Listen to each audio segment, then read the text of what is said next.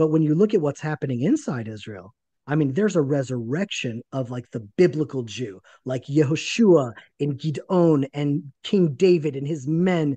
And in Israel, it's like the Maccabees are coming back to life. And I'm wondering maybe if we're dealing with the spiritual dimensions of war and what it means to wield this power, maybe this is a part of the process of becoming the people of Israel that we were meant to be. That how could we really speak with such faith if we're kind of living in Brooklyn? How can we talk about God with such confidence? Maybe only when we're strong enough to defend ourselves and bring Jewish power to light. Um, maybe then we can say it. And if that's true, that this could really only be said in Israel by the people of Israel, backed with tanks and guns and strength, then maybe this should be like a new call to young Jewish men to work out, to train, to join the IDF, to become warriors, not just in service of the state of Israel, but to become Jewish warriors in service of Hashem, in their tikkun midot, and growing into becoming who they really are, like bringing out their true Jewish identity. What do you think of that? I hope that that's not where we're headed. More militant, more fighting, more violence, more. No. I think the real battle is an ideological battle.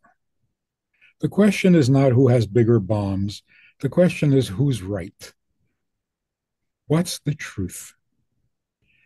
And the truth is so absent. Nobody is interested in what is true. Nobody. It's not that there are lies, there have always been lies. But truth also existed. Today, the truth is not even respected. So, what if you're telling the truth? I can tell a better lie.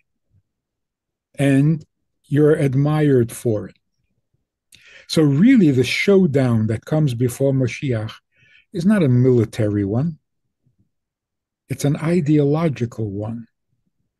Once and for all, what's the truth? Why are we here? Why are Jews?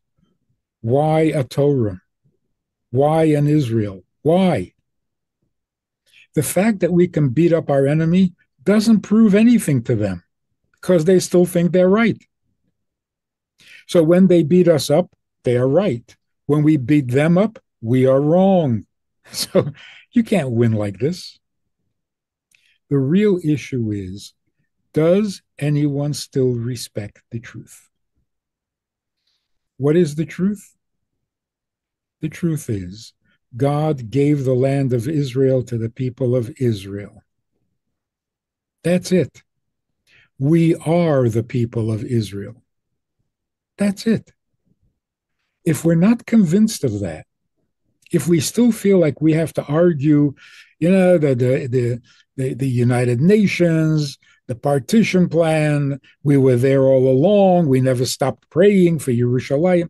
Will you stop justifying yourself? You sound uncertain.